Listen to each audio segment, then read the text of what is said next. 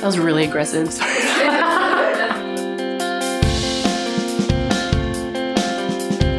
Filming in North Queensland is the instant connection with nature and what that does to everybody involved. It's a really beautiful environment.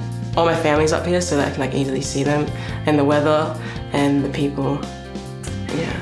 Being so close to family, 100% hands down. Yeah, being able to call family and do like a trip down the road to Bowen and eat mud crabs with my uncles and my grandparents. Um, oh, yeah, nothing beats it.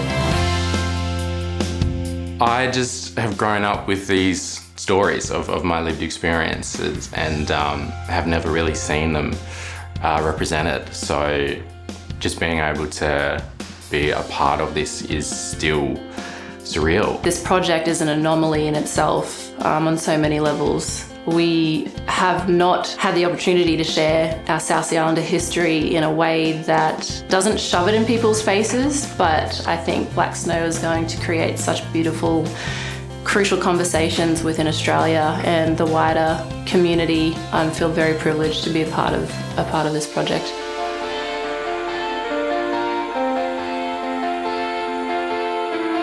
For more behind the scenes from the Stan original series Black Snow, click below and subscribe.